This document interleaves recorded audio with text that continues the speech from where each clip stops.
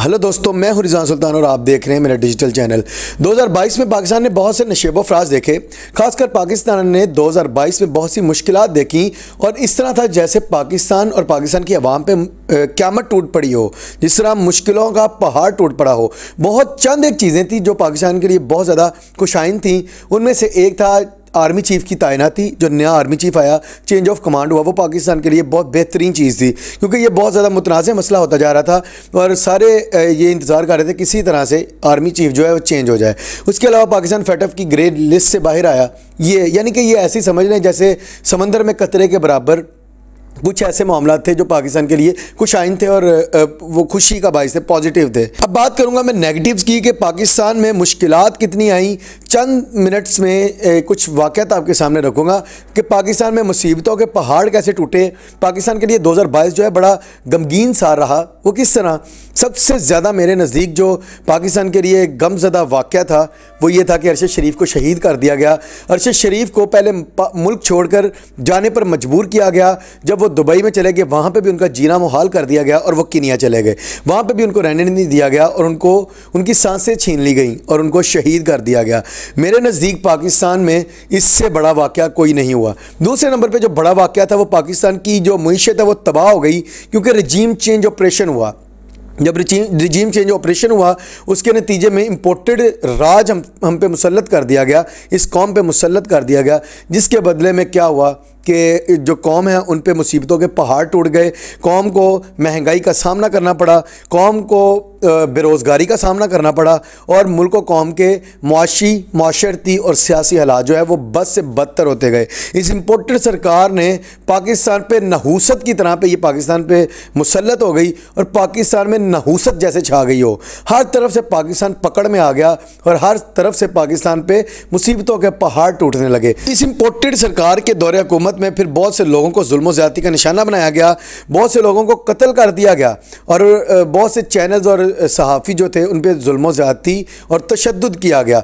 उनमें से सर फहरिस्त है जमील फ़ारूकी, अरशद शरीफ तो थे ही जो वापस नहीं आ सकते। उसके बाद जमील फ़ारूकी, उसके बाद समी इब्राहिम, इमरान रियाज खान और साबिर शाकिर और इस तरह के और भी काफ़ी सहाफ़ी थे जिन पर जुल्म ज़्यादती की गई और उनको मना किया गया कि वो हक सच की बात ना करें। जबकि लफाफा सहाफ़ियों की इसमें आज़ादी थी, मौजे थी 2022 में।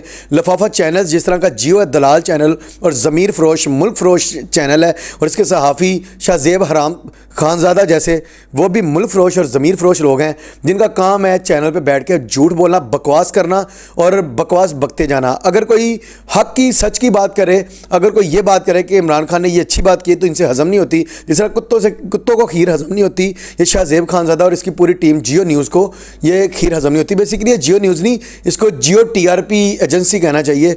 ये पैसों पे काम करती है, जो भी इनको पैसे खिलाएगा, ये उनकी तारीफ़ें करेंगी और जो उन, इनको पैसे नहीं खिलाएगा, ये उनके खत्ते पड़ जाएँगे। इसके अलावा एक बुज़ुर्ग सैनिटर आज़म सवाती जो है, उनको तशद का निशाना बनाया गया।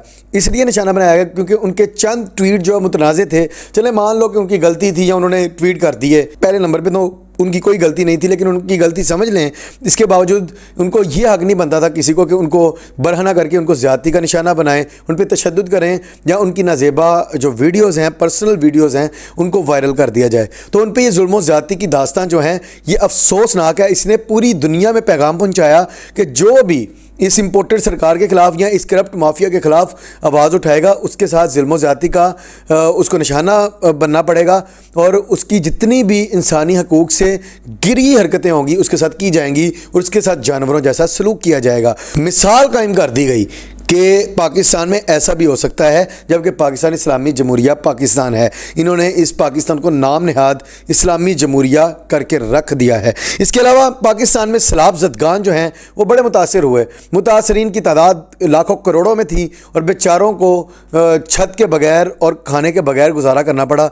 यह पाकिस्तान में बहुत बड़ा सानिया था। उसके अलावा जिन्होंने भी इमरान खान पर कातिलाना हमला करवाया, इस इम्पोर्टेड सरकार ने और वगैरह वगैरह, इन्हों, ये जो मामला हुआ था, ये बड़ा अफसोसनाक वाक़ था कि मुल्क का जो पॉपुलर लीडर है, उस पर कातलाना हमला करवा दो। क्यों? क्योंकि वो अपने राइट के लिए, अपने हक के लिए, आवाम को अपील करता है कि मेरे साथ निकलो और मुझे मेरा हक दिलवाओ।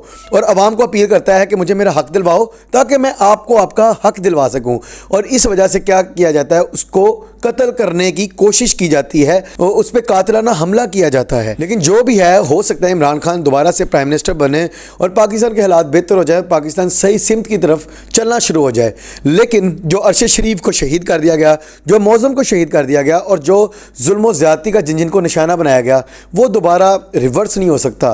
किसी को शहीद कर दिया जाए ख़ासकर अरशद शरीफ जैसे अजीम इंसान को, वो कभी भी वो नुकसान पूरा नहीं हो सकता। ना उनकी बीवी, ना उनकी माँ, ना उनके बच्चे, उनके लिए ये नुकसान वो है जो रिवर्सेबल नहीं है। इसके अलावा पाकिस्तान के जो मामला है, उम्मीद यही की जाती है कि इमरान खान जैसे ही प्राइम मिनिस्टर बनेंगे तो इन पाकिस्तान जो है, दोबारा तरक्की की तरफ़ गामजन होगा और पाकिस्तान ये डिफ़ॉल्ट वगैरह के ख़तरों से बाहर निकल आएगा। अपनी राय का इजहार कमेंट्स में ज़रूर कीजिएगा। अगली वीडियो में मिलते हैं तब तक के लिए अल्लाह हाफिज़।